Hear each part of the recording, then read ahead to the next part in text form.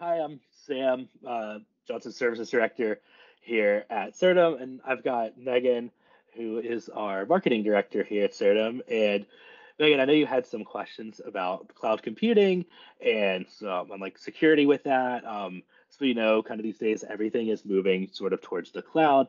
Um, everybody is kind of going towards a remote workforce a um, working from multiple locations, multiple places. Um, a lot of people are traveling again more, and the kind of need for that security and the um, and multi-factor um, and cloud computing is a uh, is a real um, it's a real need real need these days. Um, coming from a services standpoint, one of my favorite things about cloud computing is, like I said, you can work from anywhere. You can do your job from from any place. I can, um, if it's really nice day out, I can you know pick my computer up and as long as I have a hotspot, go out to the park and really um, and you know get my get my work done.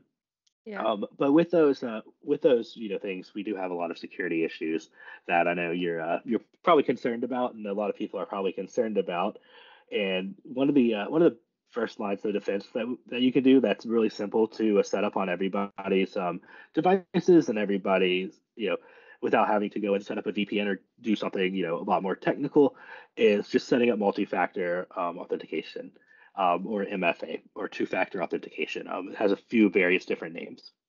Okay. One of the one of the probably the best things that I uh, suggest to people is if you are looking at different apps and it doesn't have an option for um, for two-factor or multi-factor authentication, probably probably want to look at some other other options because doesn't mean that doesn't mean it's not a good app, but it means their security hasn't been updated in a while. And with more and more um, threats happening these days, you want to take everything to secure um, not only your your business but also your employees as well, because it opens them up to um, to having their personal information hacked. Um, so with the multi, with multi-factor, what it basically does is there's a few different ways where it works. The most common one you'll see is it will um, send you a text message or a phone call where whenever you set that up, where it'll give you like a code or a number that you put into the computer. Um, probably that's probably the least secure way for multi-factor authentication to work because it's really easy for um, hackers to actually spoof your phone number. As scary as that as that sounds. Yeah. Um, so one of the more secure ways, um, and what most people are moving to, um, and some of the more secure apps are actually uh, requiring now, is a um, is what's called an authenticator app. Um, Google makes one, Microsoft makes one. There's a few different um, options out there for you to use.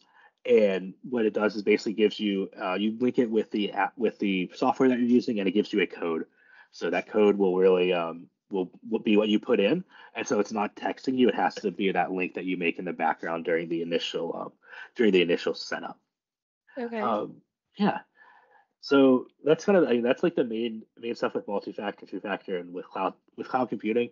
As I mentioned, there is some other ways where you can make your um, make your data and your systems more secure. Um, primarily, the probably the most well-known one would be setting up a VPN. So that is where the traffic is. Um, it goes through. Um, it actually goes through a secure connection you set up to go through a secure connection.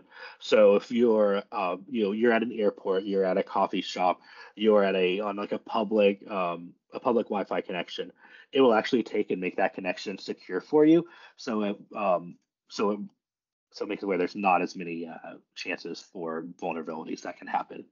Um, it does, it does require, you know, someone going in and actually like setting it up on the on the devices and take and takes a little bit of extra work from the from the employees and everything. But it's one of those things that once it's turned on, it stays there for the um, for the entire time that they are connected to it.